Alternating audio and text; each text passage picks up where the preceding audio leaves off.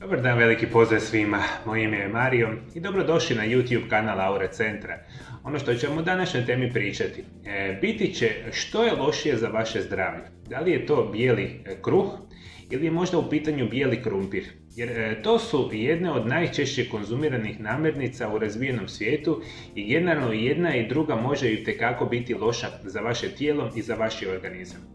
I u današnjoj temi e, ćemo upravo govoriti e, što je zapravo lošije i iz kojih perspektiva ćemo gledati na kvalitetu ili utjecaj na naše zdravlje ovih namirnica. I kada razmišljamo o nekakvim namirnicama, e, današnja emisija će nas navoditi o nečemu što se naziva glikemijski indeks e, namirnice. A kada govorimo o glikemijskom indeksu namirnica, e, govorit ćemo o jednoj ljestvici, dakle namirnica koje potencijalno ili u kojoj razini djeluju na skokove ili porast šećera u našoj krvi, što nam rekli smo nije dobro u našem tijelu i u našem organizmu. Ima dakle cijeli, zapravo sve namirnice imaju određeni glikemijski indeks, ali za lakše razumijevanje, na glikemijskom indeksu namirnice koje imaju više od 70, dakle nekakvu jedinicu više od 70, 80, 90, 100 pa nadalje, su jako loše za naš organizam i trebali, trebali bi ih izbjegavati upravo iz perspektive jer takve vrste namirnica značajno podižu dakle, šećer u našoj krvi, a što smo rekli da nam je jako, jako štetno. I mi e, kada razmišljamo o glikemijskom indeksu, dakle, e, otprilike e, dakle, bijeloga kruha, onda ćemo reći da sami bijeli kruh ima svoj glikemijski indeks negdje otprilike oko 80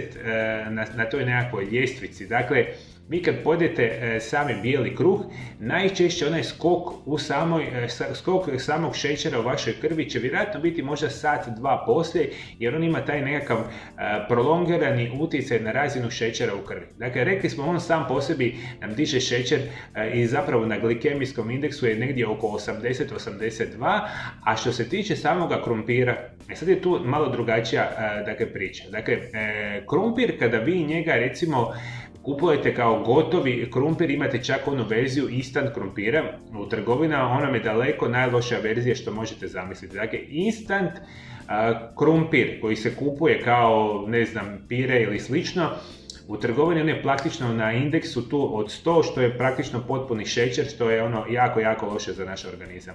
Onda imamo onu verziju, vi ukoliko ćete pržiti krumpir ili ćete možda kuhati pa dobiti pire od krumpira, on će vam na glikemijskom indeksu biti tu negdje oko 82, 84 što je isto prilično loše za naše tijelo i za naš organizam, a kada razmišljamo o sirovom krumpiru, što ga praktično nitko ne jede, on ima jako, jako nizak glikemijski indeks. I što to nama govori? Dakle, mi krumpire kad prerađujemo, pečemo, kuhamo, pravimo pire i slično, značajno povisujemo dakle, njihovu, zapravo njegovu konzistenciju koja kasnije djeluje na sami šećer u samoj krvi.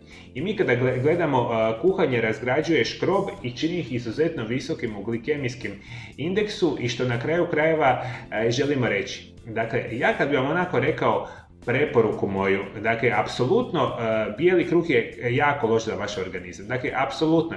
I ne samo radi razine glikemijskog indeksa, nego uh, generalno jako loše djeluje na vaše tijelo i na vaš organizam. I kad bi između ova dva birao, ja bi uvijek izbacio dakle, bijeli kruh, međutim, uh, rekao bih na kraju krajeva da ni ne treba pretjerano konzumirati niti ovaj bijeli krumpir, jer on na kraju krajeva, kažem isto, može potencijalno djelovati loš na naš organizam, specijalno kada ga pravimo na određene vrste namirnica.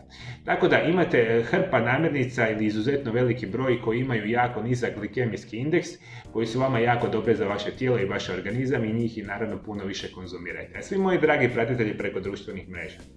Ukoliko vam se sviđaju moji video zapisi, a ja se nadam da vam se sviđaju, molim vas ovdje dole ispod video zapisa, pretplatite se na moj kanal i mi se vidimo drugi puta u drugoj sljedećoj temi. I prije nego što odete, imam jednu veliku vijest za sve moje drage pratitelje preko društvenih mreža. E, pošto je ukazana velika e, potreba e, pacijenata koji me zovu zapravo i pratitelja preko društvenih mreža iz cijeloga svijeta, odlučio sam za sve vas koji niste u stanju doći ovdje kod mene u ordinaciju, a, želite moje stručno savjetovanje, stručno mišljenje ili možda preporuke vezano uz vašu bolest, način života ili možda zdravu prehranu, moći ćete se naručiti na ove brojeve telefona u Hrvatskoj Isto tako, moći ćete, e, naručiti se na ove brojeve telefona iz inozemstva, e, te narudžbu možete napraviti putem e-maila, Vibera, Vibera, Whatsappa ili dakle, putem našega web shopa. Ono što je bitno za reći, e, dakle ja ću ostaviti dovoljno vremena za sve vas koji ste zainteresirani da dobijete specijalan točan termin kad ćete mu se e, dakle, čuti ili putem društvenih mreža ili putem telefona ili putem e, drugih dakle, načina komunikacije. Dobit ćete svoj specijalan poseban termin kada ćemo mi moći napraviti ono adekvatno što vas naravno interesira. Sve ovo što sam vam rekao imate ovdje dole ispod videozapisa napisano i ukoliko naravno želite moje stručne konsultacije, preporuke i savjete, nazovite, kontaktirajte nas, e, naručite se e, dakle, na specijalan poseban e, termin i ja ću se na kraju kraja pobrinuti da vam dam ono što vama treba vezano uz vaše oboljenje. Hvala lijepo što me pratite. Do druge teme ja vam želim lijep i ugodan pozdrav.